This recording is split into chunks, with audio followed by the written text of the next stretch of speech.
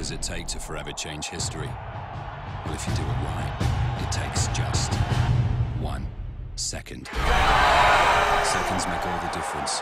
That's why AT&T built the nation's fastest 3G network.